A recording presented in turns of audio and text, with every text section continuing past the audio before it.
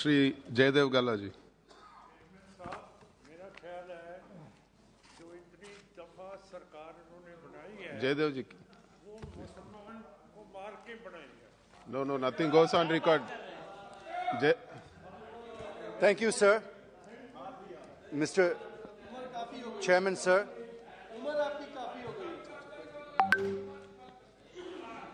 Thank you, sir.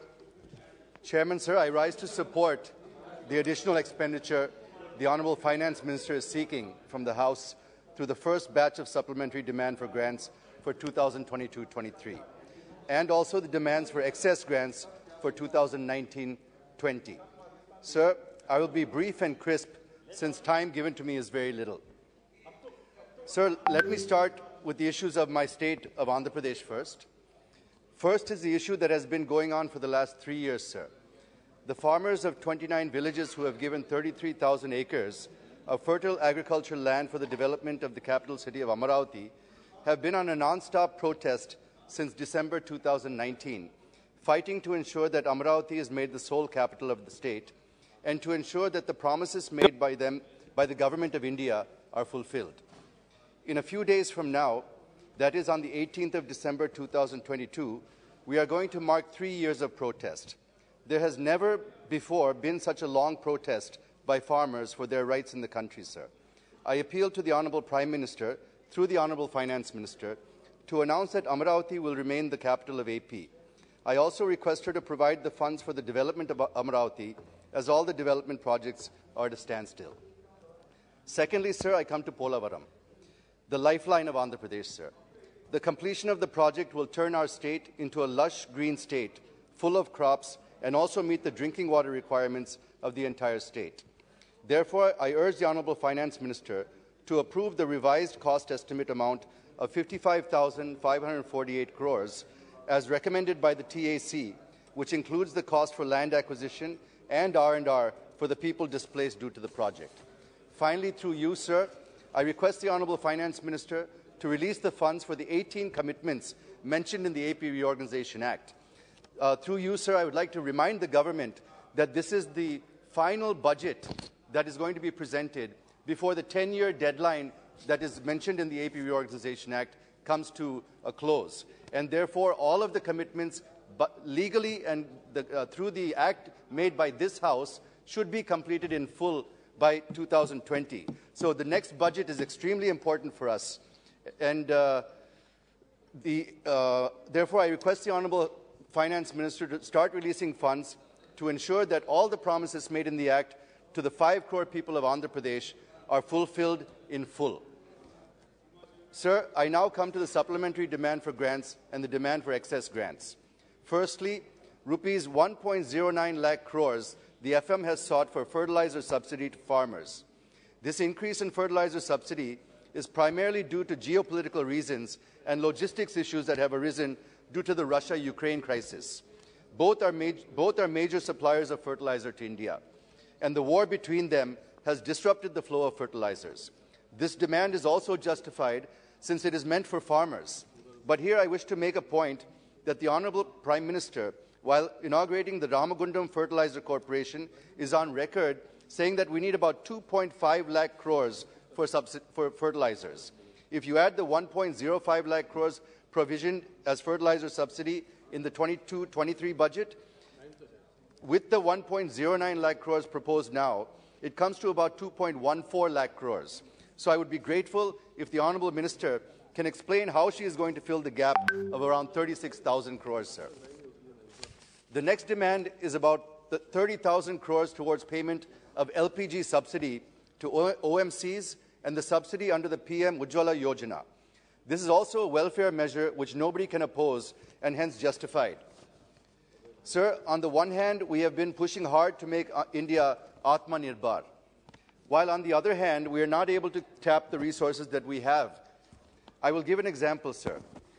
Andhra Pradesh, with nearly 1,000 kilometers of coastline, is having the second longest coastline in India. More than 27 billion cubic meters of natural gas reserves are yet to be recovered from inland and offshore sources in Andhra Pradesh. There are also reserves in Gujarat and the Northeast. The point is, if we are able to tap these resources, we can save huge foreign exchange and also achieve the objective of becoming Atmanirbhar. I am saying this because we import 60% of our LPG requirement from other countries.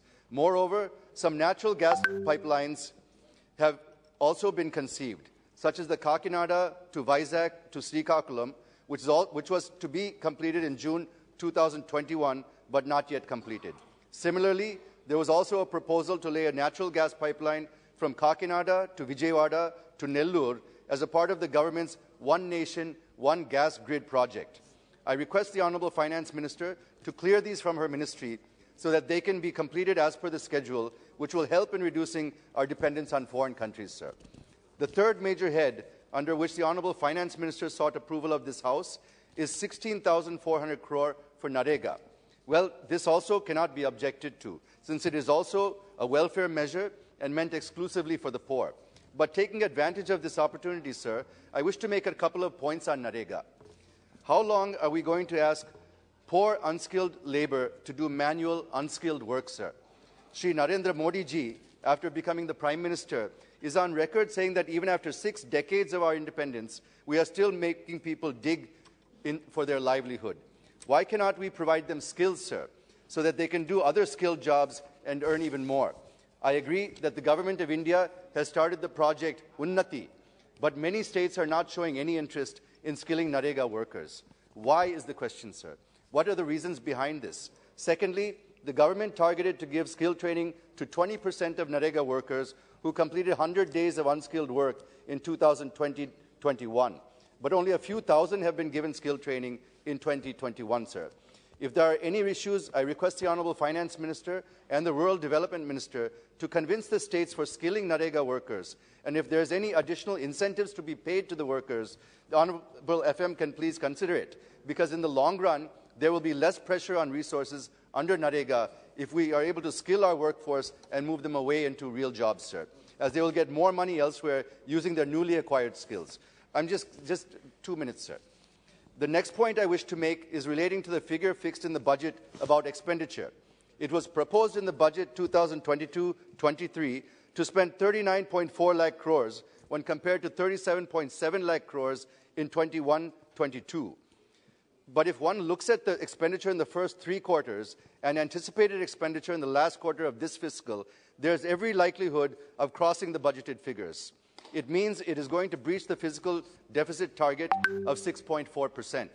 Even though we have better GST collections and we've got about 1.4 lakh crore collections nine months in a row now, I wish to know to what extent will this help in keeping the fiscal deficit at 6.4%, because the expenditure may breach by around 1 lakh crores this fiscal year.